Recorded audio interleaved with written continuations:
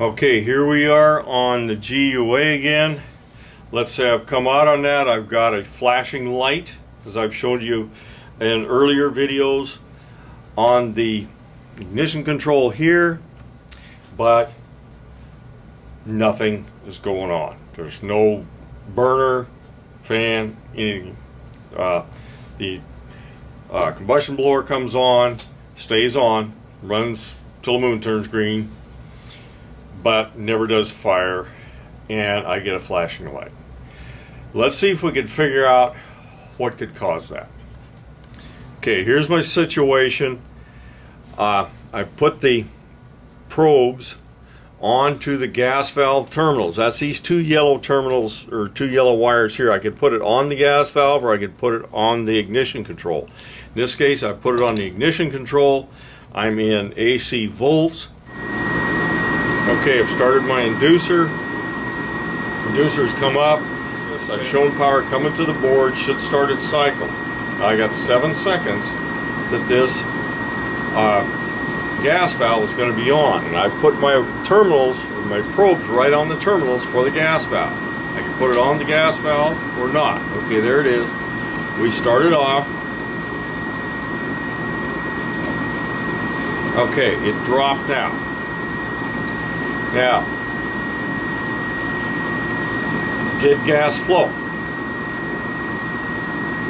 There's no way to know whether gas, I had gas flow there.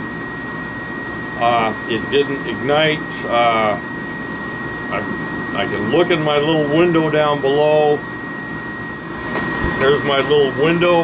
I can look in there, pretty hard to see, but you gotta look close.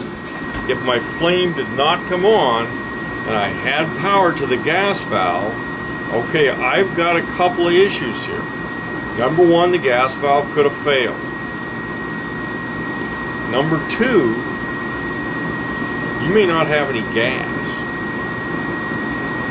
I don't know how many times people called me up for service calls and the gas was off at the meter or somebody shut the gas cock off down by the unit or something like that. Make sure you got gas there. Now, if you're sure you have gas there, I'll uh, on one of the earlier videos I was showing how to do uh, manifold pressure on it. You can take the plug out. The plug's right over here. Put your manometer on it and find out if you've got gas coming through. If you've got gas coming through and it's not igniting for whatever reason, uh, then you're going to have to look further there. Uh, but we've already checked out things like hot surface igniter and the like.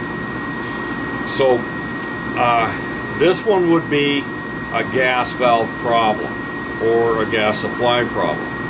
If during that trial for ignition I did not get power out of this board here, then I get a board problem. Now there's trying again.